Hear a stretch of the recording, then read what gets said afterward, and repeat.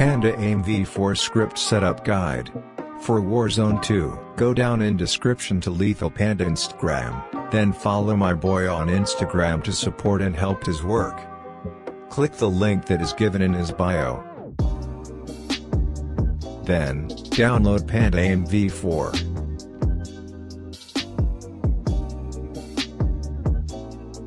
After the script is downloaded, open up your Zen Studio.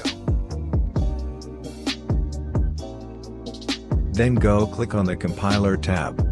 On your top left of the screen, click on File, Open, and insert the script that you downloaded for me.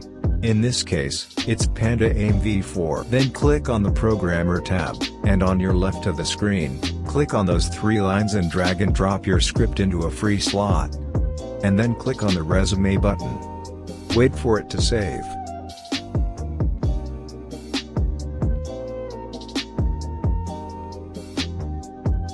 And then get back to gaming. All credit of script to Lethal Panda check out his channel.